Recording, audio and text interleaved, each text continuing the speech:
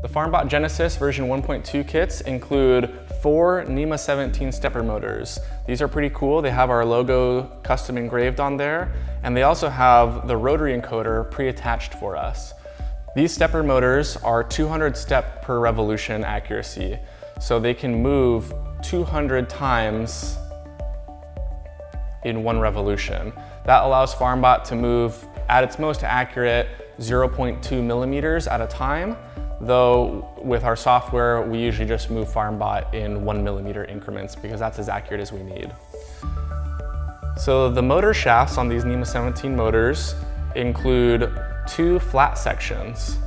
So this is called a double D motor shaft. The two flat sections are used to provide a nice landing zone for the set screws on the GT2 pulleys.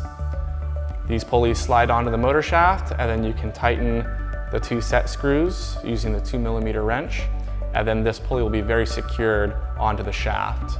So as the shaft rotates, the pulley will as well and there will be no slipping between the two. The stepper motor itself is connected with one of these cables. It's a slightly thinner cable that came in the motor box and it is plugged in, uh, this cable is plugged into the motor with the white connector. Then the other end, with this black four wire connector, is plugged into the Arduino uh, ramps board. The encoder is connected to the Arduino and ramps boards with these slightly thicker cables that are also included in the motor kit box.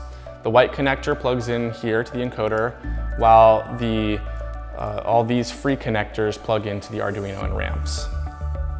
There are three different cable lengths. One is 4.5 meters long, and that is for the Z-axis motor.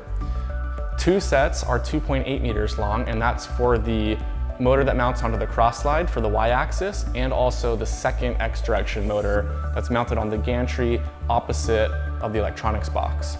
And then one set is 0.75 meters long, and that's for the motor on the gantry, the X1 motor that is mounted very near the electronics box.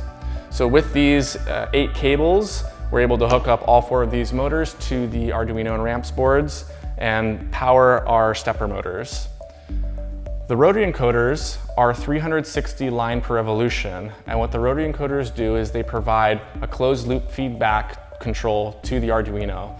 So when the motor moves, the rotary encoder measures the movement and then tells the Arduino everything looks good or something went wrong.